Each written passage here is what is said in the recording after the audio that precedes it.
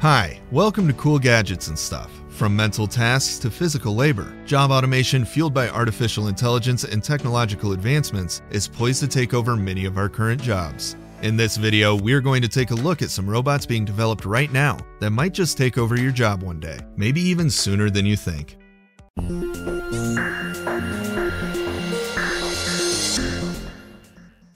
We are going to start with the food service sector. Silicon Valley based startup Bear Robotics has created Penny, a self driving robot that runs food, delivers drinks, and busses empty plates between kitchen and tables. This small robot is designed to navigate in a restaurant's crowded, narrow spaces, using sensors to avoid any obstacles.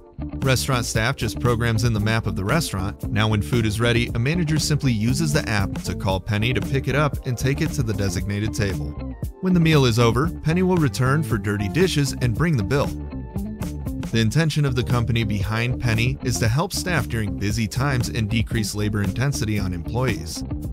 Penny is still in its trial phases, and engineers are still continuing to tweak the technology and solving any challenges.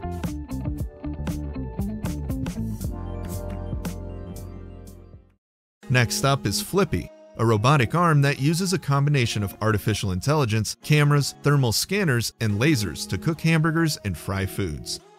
Miso Robotics, the company behind Flippy, intends this robot for manual, repetitive tasks since it can work all day without breaks and be far more consistent with its work than a human. It can automate a wide range of tasks, from prep work to cooking to final assembly. Flippy enables restaurants to increase labor productivity and reduce costs, while improving food quality, consistency, and safety.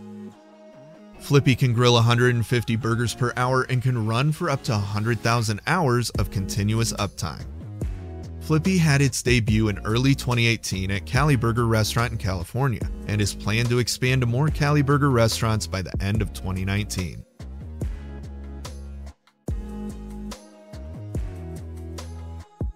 Next is the construction sector. With the advent of 3D printing, the construction industry is about to change and one company is on the forefronts. Apis Cor is developing a 3D printer which can print houses and even entire buildings. The company says building homes with the bot is more efficient and less expensive than relying on humans. Footage you're seeing is from a pilot project for a municipal building in Dubai. One can print a building of any size just by moving it around. Apis Cor is able to print the wall of a standard home in just two to three days, while traditional methods will take about a month to complete. Right now, it can only print walls. Roofs, floors, foundation, electrical systems, and plumbing are done by traditional methods. It also makes it possible to reduce the used materials, tools, and waste during the construction process. Currently, it's suited for low rise buildings and requires the control of an operator, but the plans are to develop it to enable printing of high rise constructions as well as foundations, floors, and roofing. The first generation of this machine is set to be available for purchase sometime in 2020. Another company on the forefront of innovation in construction is Fast Brick Robotics. They developed Hadrian X, a commercial bricklaying robot that can build a house in just three days. Hadrian X is mounted into a truck to easily transport it to and from a location for on site building. Blocks are loaded into the back, transported through a telescopic boom with a 30 meter or 100 foot reach, applied with adhesive and placed with precision according to the preset layout. The special adhesive used bonds in just 45 minutes and holds stronger than traditional mortar. The machine also features a dynamic stabilization technology which reacts to wind, vibration, and other environmental factors instantly, enabling precise positioning of objects. It's capable of laying about a thousand bricks per hour, about the output of two human bricklayers for a day, with no need for breaks. Hadrian X builds faster, more accurately, and with less construction waste, which should equate to savings for the builders and homebuyers. The Hadrian X is not commercially available yet.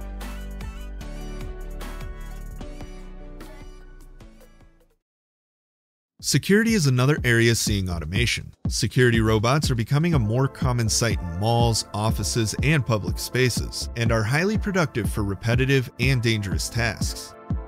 Intended as mobile surveillance devices, they patrol along a preset route or navigate autonomously in a designated area while scooping up data from facial scans to license plates. They can even call the police. Data is stored and can later be gathered and analyzed. They are paired with a human specialist in a control room who can be alerted of any suspicious activity and can navigate and can even communicate through live audio. They can run 24 hours a day, have infrared cameras to see in the dark, and are in a way less conspicuous than humans performing similar surveillance duties. These robots aren't designed to use force against an intruder, but simply alert security personnel. Several companies are developing their own version, and you can expect to start seeing them more often.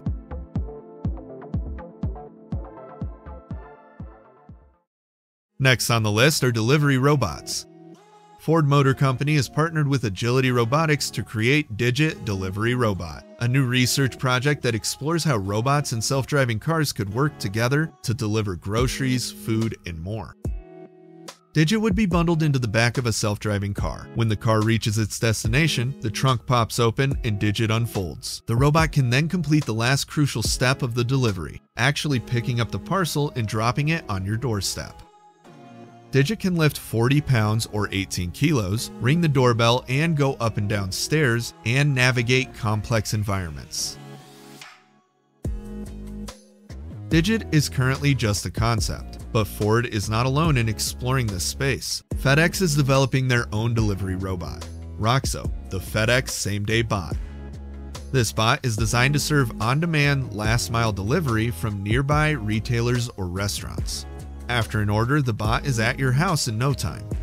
Roxo is battery powered, has a top speed of 10 miles per hour, and is autonomous, meaning it can steer itself around pedestrians and traffic using a combination of sensors, like those found in self driving cars. This bot is currently on trials.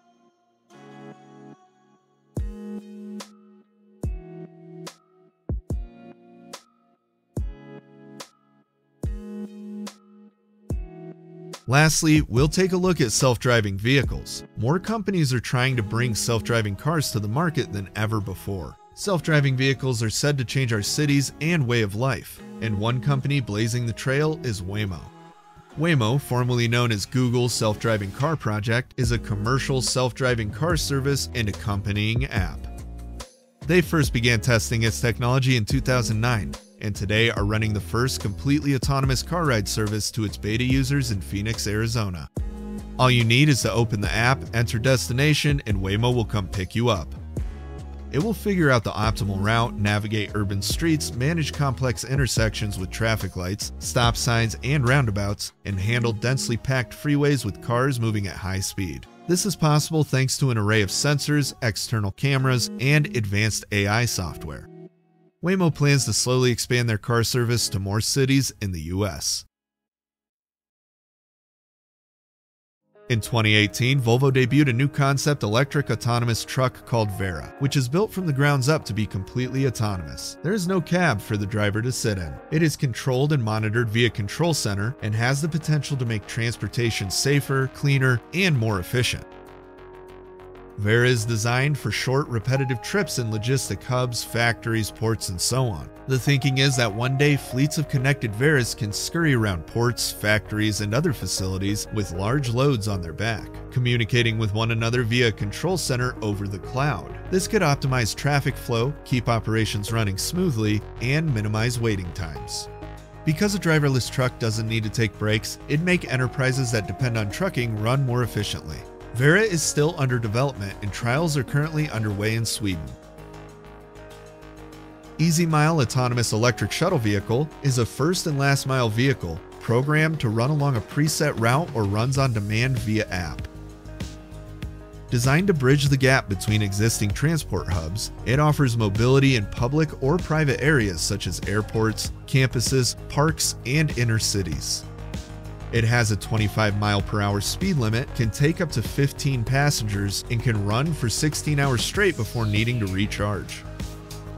It detects and avoids potential obstacles thanks to a full set of sensors. This vehicle is wheelchair friendly and already fully operational. First launched in 2015, it already has over 200 deployments in more than 25 countries.